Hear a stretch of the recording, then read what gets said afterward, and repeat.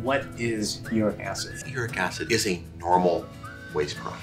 It's not weird to have uric acid, but this normal waste product in some people will accumulate and cause painful arthritis.